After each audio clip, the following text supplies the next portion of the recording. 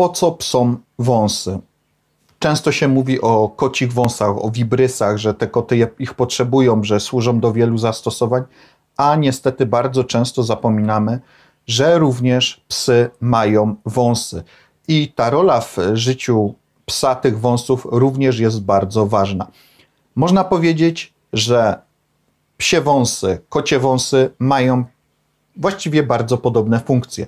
W obu przypadkach są niejako takimi czujnikami, można powiedzieć czujnikami parkowania, takimi jak w samochodach, takimi radarami, które dzięki swoim właściwościom pozwalają tym mm, psom, czy też kotom, dzisiaj mówimy o psach, czyli psom, pozwalają mm, omijać, potrze- przepraszam, omijać przedmioty, nawet w całkowitych ciemnościach. Po prostu każdy ten wąs jest bardzo czuły, przenosi każde dotknięcie jego, przenosi y, do odpowiedniego, można powiedzieć, czujnika, a raczej y, komórki nerwowej, później do mózgu, szybki, natychmiastowy sygnał. Dlatego psy tak rzadko uderzają w coś głowami, uderzają w coś y, nosami, ponieważ każde dotknięcie tego wąsika, tego włoska powoduje, że pies wie, że czegoś dotknął.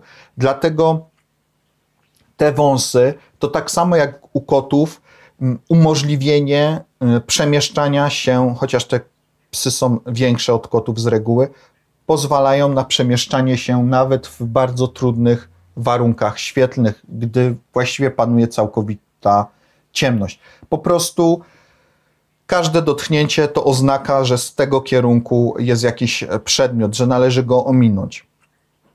Czyli tak samo jak u kotów, możliwość przemieszczania się.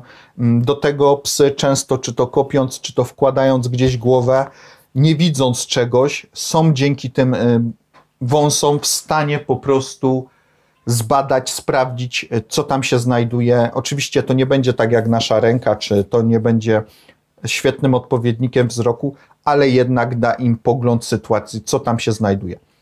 Do tego że nie wejdą w jakąś przeszkodę, są w stanie mm, wyczuć jakiś przedmiot poprzez te wąsy. Bardzo często te wąsy służą też, można powiedzieć, do komunikacji.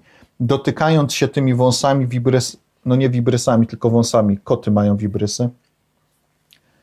Psy y,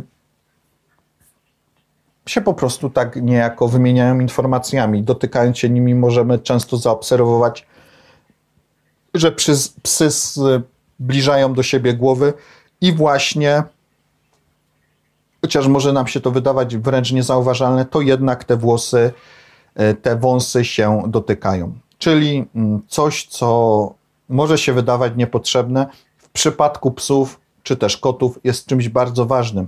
Mm, służy do przemieszczania się, omijania przeszkód, komunikacji, badania tego, co jest dookoła nich, czyli jeden z kolejnych zmysłów do kontaktu ze światem do badania tego światu, czyli coś bardzo ważnego, zwłaszcza w przypadku zwierząt, które mm, kiedyś polowały, no teraz nie muszą, ale kiedyś musiały mieć ten pogląd sytuacji. Często było to w y, ciemności, a te wąsy im to umożliwiały.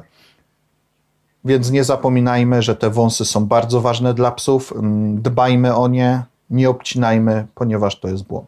Dziękuję za uwagę, dziękuję za ocenę, za komentarze. Zapraszam do zasubskrybowania, naciśnięcia dzwoneczka na inne materiały na moje portale społecznościowe oraz do linków zamieszczonych w opisie. Dziękuję za uwagę.